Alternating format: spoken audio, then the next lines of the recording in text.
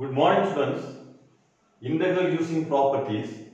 One property integral 0 to a f of x dx equal to integral 0 to a f of a minus x dx which is one property. Using this property we can evaluate this question. So first you take the given question equal to i.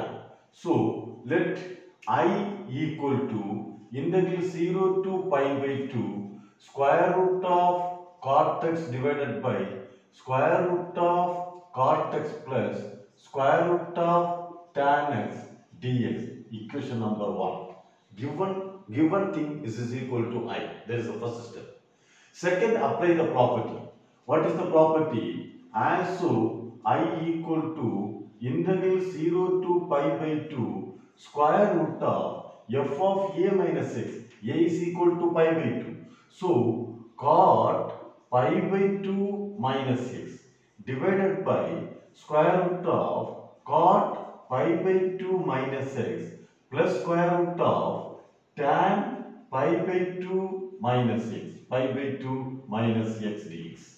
Instead of x we want to put pi by 2 minus x because the property is a minus x here 0 to a a means pi by 2 therefore cot pi by 2 minus x cot pi by 2 minus tan pi by 2 minus using that property. Okay.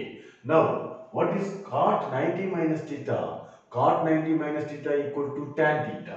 So it is equal to integral 0 to pi by 2 square root of tan x divided by square root of tan x plus square root of tan 90 minus theta cot theta. So it is equal to cot x. This is equation number 2. Now this is i is equal to, this is also i is equal to.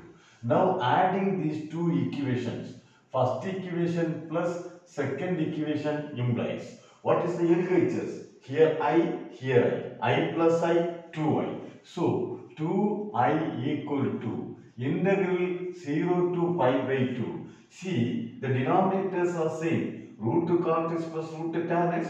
Root to cot x plus root to tan x. Denominators are same. So you take the LCM root to cot x plus root to tan x. This is the denominator. Then what about the numerator? Here root to cot x, here root to tan x. So here it is root cot x plus root tan x, root tan x into dx. Now these two get cancelled.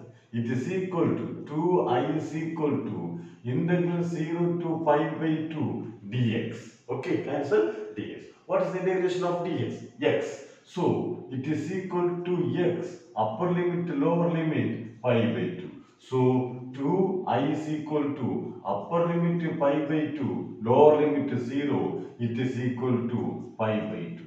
Therefore i is equal to pi by 4. Therefore the last answer integral 0 to pi by 2 square root of cot x divided by square root of cot x plus square root of tan x dx equal to pi by 4. This is the answer for this question. Okay, study well, subscribe Mercury Maths, go sender.